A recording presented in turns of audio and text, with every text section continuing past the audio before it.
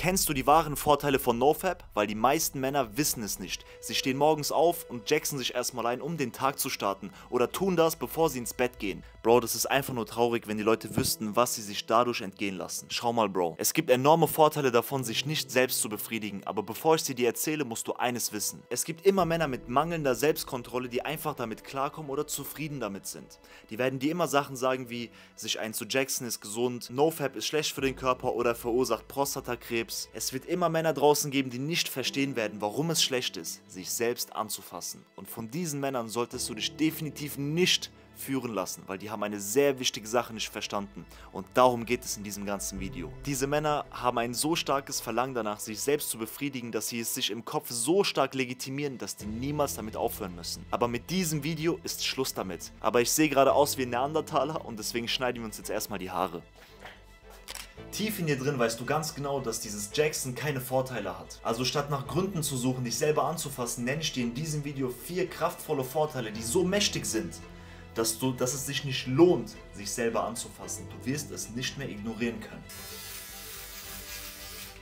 Nummer 1. Du wirst einfach wieder zu dir selbst. Viele Jungs beschreiben NoFap als etwas Magisches, als könnte man über Wasser laufen oder durch Wände schauen oder sowas. Und die Wahrheit ist eigentlich so viel simpler als das. Du findest einfach wieder zu dir selbst zurück. Frei von jeglichem Verlangen, frei von deinen Trieben, frei von der Sucht, Bro. Weil die Sucht, die Abhängigkeit, der Trieb, diese Gelüste, die entkoppeln dich von deinem höchsten Potenzial. Selbstbewusstsein, Motivation, Kreativität, Leidenschaft, viel Energie, das sind alles Sachen, die du von Natur aus schon hattest. Denk drüber nach, als du ein Kind warst, hast du nur gestrotzt vor diesen Eigenschaften. Aber je älter du wirst, desto mehr Süchte kommen dazu. Sei es Zucker, sei es Erwachsenenfilme, sich selber anzufassen, vielleicht sogar andere Substanzen, die du machst. Und so verlierst du durch all diese Süchte und Abhängigkeiten nach und nach diese Eigenschaften, die ich dir gerade eben genannt habe. Du wirst weniger kreativ, du verlierst einfach an Leidenschaften. Abhängigkeiten ernähren sich von deiner Seele, Bro. Und du gibst jedes Mal, wenn du einer Sucht nachgehst, einen Teil deiner Kreativität und Leidenschaft und Motivation ab. Und das ist auch kein magischer Hokuspokus-Pseudo-Wissenschaftsmüll, Bro. Das ist ganz einfach in Studien zu belegen. Dopamin spielt hierbei eine sehr große Rolle. Du musst dir vorstellen, dein Gehirn ist wie ein Netzwerk. Wenn du aufhörst, deinen Süchten nachzugehen, dann verdrahtet sich dein Gehirn komplett neu. Und durch diese Neuvernetzung, Neuverdrahtung deines Gehirns steigt deine Dopaminsensibilität. Deshalb würde ich die Vorteile von NoFap nicht als Superkraft bezeichnen, sondern durch die Dopaminsensibilität findest du zu deinem wahren Ich wieder zurück. Du holst dir eigentlich nur das zurück, was du durch die Sucht verloren hattest. Nimm das ernst, was ich dir sage, weil wenn du wirklich erfolgreich im Leben sein willst, Ziele hast, die du erreichen möchtest, dann kannst du kein Süchtiger sein mit gestörter Hirnchemie. Puh, ich bin jetzt wieder richtig fresh, Alter. Wow. Oh, das war auf jeden Fall ein kranker Catch, yo. Und ein kleiner Bonustipp, den ich dir geben kann. Lern dir auf jeden Fall selbst die Haare zu schneiden. Es gibt einfach kein geileres Gefühl, als richtig fresh in den Tag zu starten. Ich erzähle dir jetzt vom zweiten Vorteil davon, sich nicht selber zu befriedigen. Komm mit. Der zweite mächtige Vorteil davon, dich nicht selbst anzufassen, ist eine verbesserte Konzentration und Klarheit. Du musst dir vorstellen, dass Jackson versetzt deinen Dopaminspiegel in eine konstante Achterbahnfahrt. Verspürst du Vergnügen, schießt dein Dopaminspiegel in die Höhe und kurz darauf kommt ein Absturz. Und genau das ist, was deine Konzentration und dein Fokus beeinträchtigt. Einige Typen werden mir widersprechen und sagen, dass das gar nicht stimmt. Viele verspüren eine Klarheit, nachdem sie ejakuliert haben. Man nennt das auch Post-Nut-Syndrom, also diese post-ejakuläre Klarheit. Du weißt doch, wie das ist, Bro. Du hast Gefallen an einem Mädchen, dann jackst du dir ein und danach denkst du dir eigentlich, ah, voll unnötig alles. und ja, ich verstehe schon, dass das irgendwie eine Art von Klarheit ist. Aber der einzige Grund, warum es so aussieht, als würdest du nach dem Ejakulieren an Klarheit gewinnen, ist, weil der lüsterne Zustand dich unfähig macht, überhaupt klar zu denken. Das bedeutet, du hast dich einfach nur nicht im Griff, weil die schiere Menge an Energie dich überfordert. Und das ist eine Sache, mit der ein Mann lernen muss umzugehen. Das ist auch der Unterschied zwischen einem Jungen, der seine Gelüste, seine Triebe nicht im Griff hat, und einem Mann, der an die Sache rational rangeht und die Energie nutzt und sie transferiert in andere Sachen und sich nicht verliert in der Lust. Es ist eine Tatsache, dass die Selbstbefriedigung deine Konzentrationsfähigkeit nicht steigert. Ganz im Gegenteil sogar, du wirst dich eigentlich danach eher träge und müder fühlen. Der Grund, warum du davor das Gefühl hattest, vernebelter gewesen zu sein, ist wie gesagt, dass du dich einfach nur nicht im Griff hast. Weil die sexuelle Energie dich überfordert hat. Sexuelle Energie, genau wie jede andere Energie auch, kann produktiv oder destruktiv genutzt werden. Es liegt nur in deiner Hand, wie du mit dieser Energie umgehst. Ich persönlich kämpfe auch noch damit, diese angestaute sexuelle Energie produktiv zu nutzen aber meistens gelingt mir das mittlerweile. Früher aber habe ich diese Energie nur destruktiv genutzt. Ich habe mich verloren in Erwachsenenfilmen, ich habe anderen Frauen hinterhergegeiert, ich habe andere Frauen angeschrieben, ich wollte mich mit vielen Frauen treffen und ich habe mir teilweise drei bis fünfmal am Tag eingejaxt. Okay, das, so oft habe ich mir nie eingejaxt. Aber ich habe mir teilweise jeden Tag eingejaxt und manchmal sogar mehrmals am Tag. Und das ist definitiv eine sehr destruktive Art und Weise, mit dieser Energie umzugehen.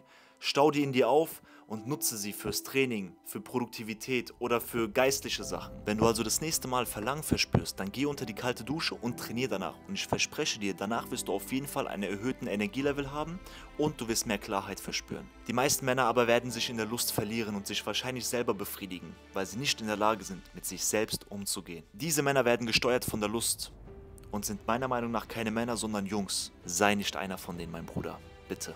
Nummer 3. Erhöhte Lebensenergie. Unser Samen ist im wahrsten Sinne des Wortes Lebenselixier. Egal ob du ein Mann oder eine Frau bist, 50% der Zutat, die dafür sorgt, dass du existierst, ist der Samen. Diese Flüssigkeit ist so potent, dass wenn man nicht aufpasst, Leben entsteht. Denk mal darüber nach. Und alles, was wir heutzutage machen, ist es in ein Taschentuch zu verschwenden?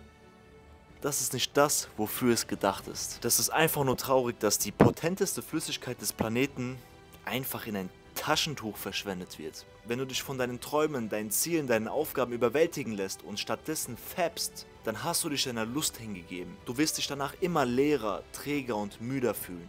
Immer.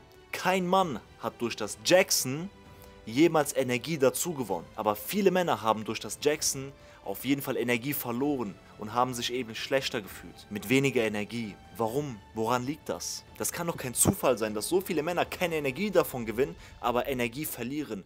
Na klar, weil du es abgibst. Es ist in deinem Körper und es könnte dir dienen.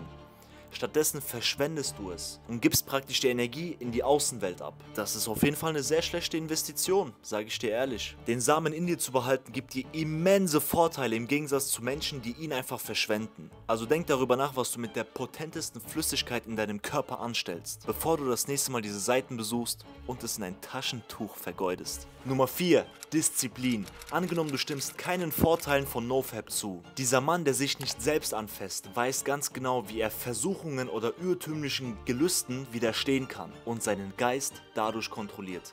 Und das ist ein immenser Vorteil. Vergiss all die anderen Vorteile, die ich davor genannt habe. Von mir aus ist das Hokuspokus für dich aber dieser Sache kannst du nicht widersprechen. Seine Gelüste im Griff zu haben, seinen Geist zu kontrollieren, sich nicht von seinen Trieben sagen zu lassen, diktieren zu lassen, wie man sich zu verhalten hat, ist ein immenser Vorteil allen anderen Männern gegenüber. Ich sag dir ehrlich, Bro, am Ende des Tages kannst du machen, was du willst. Aber ich bin kein Mann, der sich selbst befriedigt. Und das verschafft mir einen immensen Vorteil. Und ich würde nicht so darüber sprechen, wenn ich nicht davon überzeugt wäre. Ich habe es an mir getestet. Ich habe verschiedene Phasen durchgemacht. Ich habe es an anderen Menschen getestet und geguckt, wie auch andere Männer darauf reagieren. Und es ist immer das Gleiche. Mehr Energie, mehr Zeit, mehr Fokus, mehr Disziplin. Wenn du vorhast, im Leben noch weiter aufzusteigen, dann folg meinem Kanal, lass ein Abo da, like es kommentiere es, gib deine Meinung dazu, wenn du nicht der Sache zustimmst. Ich bin für Diskussionen immer offen. Vielleicht kannst auch du deine Erfahrungen damit teilen. Vielleicht hast du auch gar keine Vorteile davon gehabt. Lass es mich auf jeden Fall in den Kommentaren wissen und wenn du mehr über das Thema wissen willst, dann schreib es auch runter. Wird Zeit, unsere Grenzen zu überschreiten. Yallah. Ah ja, das war eine gute Folge. Ich freue mich auf mehr solcher Videos.